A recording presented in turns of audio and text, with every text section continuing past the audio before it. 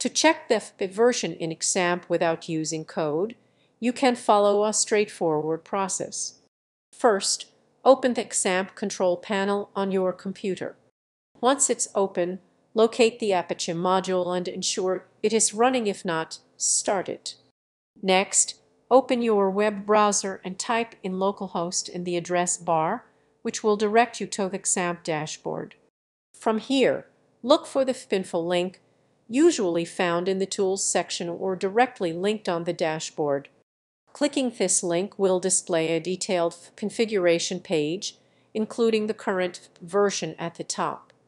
Alternatively, you can create a new text file in the docs directory, name it info, and access it via the browser by entering localhost info.